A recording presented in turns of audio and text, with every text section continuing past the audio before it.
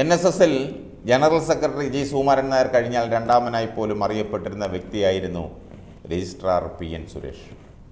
Sukumaran നായരുടെ വിശ്വസ്തനായിരുന്ന വ്യക്തി. അങ്ങനെ ഒരാൾ എങ്ങനെ സുകുമാരൻ നായർക്ക് അനഭമിതനായി എന്ന ചോദ്യമാണ് സമുദായത്തിനുള്ളിൽ മാത്രമല്ല പുറത്തു നിന്നും പലരും അത്ഭുതത്തോടെ ചോദിക്കുന്നത്. ആ ചോദ്യത്തിന് ഉത്തരം കണ്ടുപിടിക്കാനുള്ള നെട്ടോട്ടത്തിലാണ് സമുദായ പ്രവർത്തകർ. പക്ഷേ അതിനുള്ള വ്യക്തമായ കാരണം സുകുമാരൻ നായർക്കും സുരേഷിനും അറിയാം. കോൺഗ്രസ് സംസ്ഥാന നേതൃത്വവുമായി ഉറ്റ ബന്ധമുള്ളയാളാണ് ആറന്മുള വാസ്തുവിദ്യാ ഗുരുകുലം എക്സിക്യൂട്ടീവ് ഡയറക്ടറായിരുന്ന സുരേഷ്. എൻ എസ് എസും ശശി തരൂരുമായി ബന്ധപ്പെട്ട് കോൺഗ്രസ് രാഷ്ട്രീയത്തിലെ വിവാദത്തിന്റെ പേരിൽ അദ്ദേഹം പുറത്തുപോയി എന്നായിരുന്നു കഴിഞ്ഞ ദിവസങ്ങളിൽ കേട്ട പ്രചാരണമെങ്കിലും.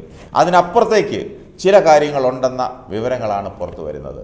അടുത്ത കാലത്തായി ചില ബി ജെ പി നേതാക്കൾ സുരേഷിന്റെ വീട്ടിൽ നിത്യ സന്ദർശകരായിരുന്നു ഇത് വെറും സൗഹൃദ സന്ദർശനമല്ലെന്ന സംശയം സുകുമാരൻ നായർക്ക് രഹസ്യമായി ലഭിച്ചു. ഇതാണ് സുകുമാരൻ നായരെ ചൊടിപ്പിച്ചതെന്നാണ് പിന്നാമ്പുറ സംസാരം. ആരൊക്കെ എങ്ങനെയൊക്കെ പരിശ്രമിച്ചിട്ടും ബി ജെ പി പാളയത്തോട് ഇതുവരെ താല്പര്യം പ്രകടിപ്പിക്കാൻ സുകുമാരൻ നായർ തയ്യാറായിരുന്നില്ല. ഇക്കാര്യം മുൻകാലങ്ങളിലും അദ്ദേഹം വ്യക്തമാക്കുകയും ചെയ്തിട്ടുണ്ട്. എസ് എൻ ഡി പിയെ ബി ജെ പി പാളയത്തിൽ എത്തിച്ചതുപോലെ എൻ എസ് എസിനെ ബി ജെ പി തൊഴുത്തിൽ കെട്ടാൻ പറ്റില്ലെന്നാണ് സുകുമാരൻ നായരുടെ നിലപാട്. പി എൻ സുരേഷിന്റെ സ്ഥാനം ധരിക്കാൻ ഇടയാക്കിയതും ഈ നീക്കം തന്നെയാണ്. സുരേഷ് വഴി എൻ എസ് എസിലേക്ക് കടന്നു കയറാനുള്ള ബി ജെ പിയുടെ ശ്രമത്തിന് ശക്തമായ താക്കീത് നൽകിയാണ് സുമാരൻ നായർ വാതിൽ കൊട്ടിയടച്ചത്. പി എൻ സുരേഷിലൂടെ എൻ എസ് എസിൽ നുഴഞ്ഞു കയറാനായിരുന്നു ബി ജെ പിയുടെ ശ്രമം. ഇത് കയ്യോടെ കണ്ടുപിടിച്ചതോടെയാണ് സുരേഷിനെ രജിസ്ട്രാർ സ്ഥാനത്ത് നിന്ന് ഒഴിവാക്കിയത്. കഴിഞ്ഞ ആഴ്ച സുരേഷിന്റെ ആറന്മുളയിലെ വസതിയിൽ ബി ജെ പി സംസ്ഥാന സംഘടനാ സെക്രട്ടറി ഗണേശനും ആലപ്പുഴ ജില്ലാ പ്രസിഡന്റ് എം വി ഗോപകുമാറും എത്തിയിരുന്നു. രണ്ടായിരത്തി ഇരുപത്തി ഒന്നിലെ നിയമസഭാ തെരഞ്ഞെടുപ്പിൽ ചെങ്ങന്നൂർ മണ്ഡലത്തിൽ ബി ജെ പി സ്ഥാനാർത്ഥിയായിരുന്നു ഗോപകുമാർ. ഇവരെത്തിയ വാഹനത്തിന്റെ നമ്പർ ഉൾപ്പെടെയുള്ള വിവരം അപ്പോൾ തന്നെ രഹസ്യമായി സുമാരൻ നായർക്ക് ലഭിച്ചു. ഈ സന്ദർശനം വെറുതെ ഒരു സന്ദർശനമല്ലെന്ന സന്ദേശമാണ് സുമാരൻ നായർക്ക് ലഭിച്ചത്. ഇതാദ്യമായിട്ടായിരുന്നില്ല ഗണേശനും ഗോപകുമാറും സുരേഷുമായി കൂടിക്കാഴ്ച നടത്തിയത്.